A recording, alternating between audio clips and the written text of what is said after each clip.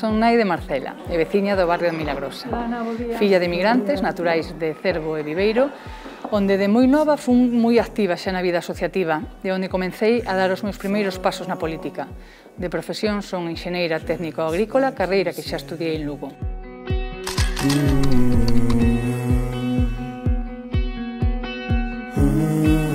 Asumín a elección como primeira alcaldesa da historia de Lugo con orgullo, humildade e moita responsabilidade, porque represento a todas as mulleres que me precederon abrindo camiño. E só cambiando a cultura xeraremos a necesaria e xusta igualdade.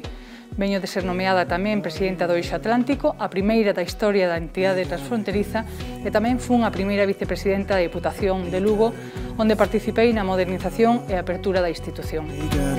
O primeiro que fixen tras ser nomeada alcaldesa foi planificar cos axentes sociais a estrategia coa que traballamos en común dende entón para mellorar o día a día da veciñanza lucense. Dende o inicio manteño este compromiso por mellorar a vida das persoas e dos territorios no que creo profundamente.